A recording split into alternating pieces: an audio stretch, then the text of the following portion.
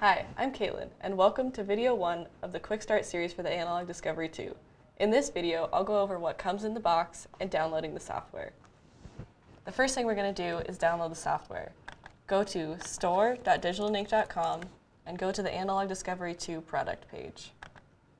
The Analog Discovery 2 product page should be under Featured Products on the main page. Once you get to the product page, if you scroll down, you'll see a link for Waveforms 2015 under Support Materials. Click on that link. That will take you to a page with more information about Waveforms 2015.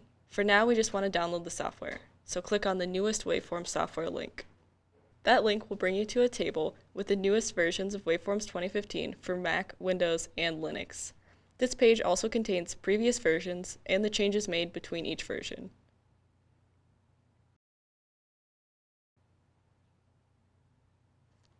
Since I have a Windows machine, I'm going to click on the Windows link. While we wait for Waveforms 2015 to download, I'm going to open the box and see what's inside. When you first look at the box, you can see there's a cardboard strip with a Digilent logo.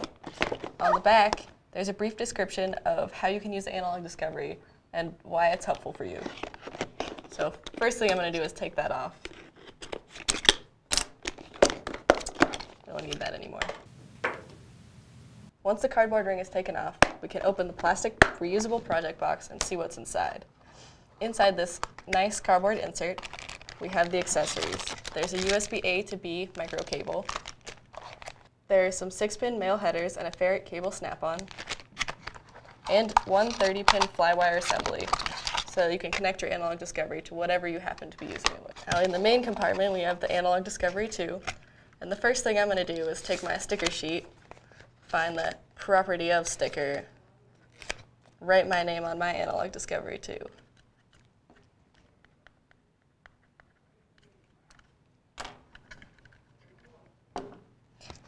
Now that we got the analog discovery 2 out, we can get rid of this cardboard insert.